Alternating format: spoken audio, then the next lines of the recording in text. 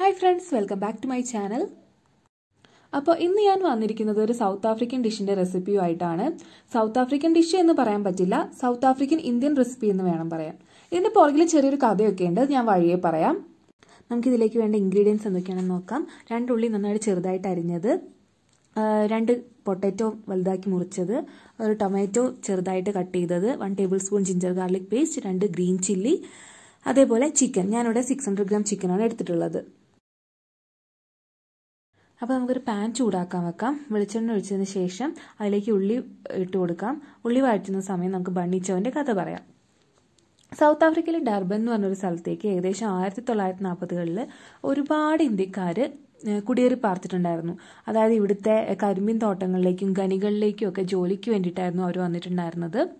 ആ സമയങ്ങളിൽ അവർക്ക് ഏകദേശം ഫുൾ ഡേ വർക്ക് കാണുമായിരുന്നു.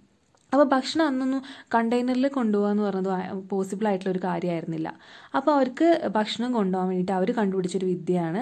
ഇങ്ങനെ ഹോൾ ബ്രെഡ് വാങ്ങിക്കുക അതായത് പീസ് പീസാക്കാത്ത ബ്രെഡ് വാങ്ങിച്ചിട്ട് അത് സെന്ററിൽ കട്ട് ചെയ്തതിന് ശേഷം അതിന്റെ നടുവിലൊരു ഹോൾ ഇടുക. എന്നിട്ട് അതിൽ കറി ഫില്ല് ചെയ്തിട്ട് ആ മുറിച്ച് മാറ്റിയ പീസ് വെച്ചിട്ട് തന്നെ അവിടെ ക്ലോസ് ചെയ്തിട്ട് പേപ്പറിൽ പൊതിഞ്ഞു കൊണ്ടുപോകുക അങ്ങനെയാണ് അവർ ഫുഡ് കൊണ്ടുപോയിട്ടുണ്ടായിരുന്നത്. പിന്നീട് ഇത് ഇവിടുത്തെ റെസ്റ്റോറന്റുകളിലൊക്കെ ഒരു ഡിഷായിട്ട് വരികയും പിന്നെ ആൾ കയറി അങ്ങ് ഫേമസ് ആവുകയും ചെയ്തു. ഇതാ നമ്മുടെ ഉള്ളി നന്നായിട്ട് ട്രാൻസ്പെറന്റ് ആയിട്ടുണ്ട്.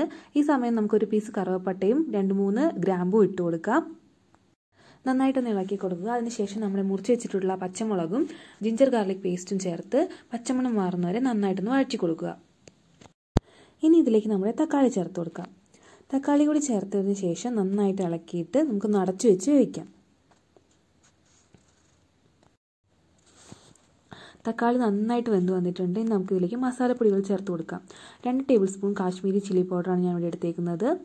അതേപോലെ രണ്ട് ടേബിൾ സ്പൂൺ മല്ലിപ്പൊടി അര ടേബിൾ സ്പൂൺ മഞ്ഞൾപ്പൊടി. ഇതെല്ലാം കൂടി ചേർത്ത് പച്ചമണം മാറുന്നവരെ നന്നായിട്ടൊന്ന് വഴറ്റി കൊടുക്കുക. നമ്മുടെ മസാല നന്നായിട്ട് കുക്കായി വന്നിട്ടുണ്ട്. നമുക്കിതിലേക്ക് നമ്മുടെ മെയിൻ ഐറ്റമായ ചിക്കൻ ചേർത്ത് കൊടുക്കാം. ഇനി ഇതിലേക്ക് ആവശ്യത്തിന് ചൂടുവെള്ളവും ചേർത്ത് കൊടുക്കുക. അതേപോലെ നമുക്ക് പൊട്ടറ്റോയും ചേർത്ത് കൊടുക്കാം. പൊട്ടറ്റോ ഇതേപോലെ നല്ല വലിയ പീസായിട്ട് തന്നെയാണ് കേട്ടോ കട്ട് ചെയ്യേണ്ടത്. ഇനി എല്ലാം കൂടെ നന്നായിട്ടൊന്ന് മിക്സ് ചെയ്തതിന് ശേഷം അടച്ചു വെച്ച് വേവിക്കുക. പൊട്ടറ്റോ ഉടഞ്ഞു പോകാതെ സൂക്ഷിക്കണം. ഇനി ഇതിലേക്ക് ഒരു ടേബിൾ സ്പൂൺ ഗരം മസാല ചേർത്ത് കൊടുക്കാം. കുറച്ച് കറിവേപ്പിലയും കൂടി ചേർത്തതിന് ശേഷം നന്നായിട്ട് അടച്ചു വെച്ച് വേവിക്കുക. ഇപ്പോൾ ചിക്കൻ നന്നായിട്ട് വെന്ത് വന്നിട്ടുണ്ട്. നമുക്ക് കുറച്ച് മല്ലിയിലയും കൂടി ചേർത്ത് വെച്ചതിന് ശേഷം തീ ഓഫ് ചെയ്യാം. ഇനി നമുക്ക് അടുത്തത് ഫില്ലിങ്ങിന് വേണ്ടിയിട്ടുള്ള ബ്രെഡ് ശരിയാക്കാം. ഒരു ഫുൾ ബ്രെഡ് എടുത്തതിന് ശേഷം അതിന്റെ ഹാഫായിട്ട് കട്ട് ചെയ്യുക. ഇനി നമുക്ക് അതിന്റെ സെന്ററിലെ പോർഷൻ മുറിച്ച് മാറ്റാം. അത്യാവശ്യം നല്ല ഡീപ്പായിട്ട് തന്നെ മുറിച്ച് കൊടുക്കുക. അത് ഇതേപോലെ ചെറിയൊരു ഹോൾ ഉണ്ടാക്കിയെടുക്കുക. ഇനി ഇതിലേക്ക് നമുക്ക് കറി ഫില്ല് ചെയ്ത് കൊടുക്കാം.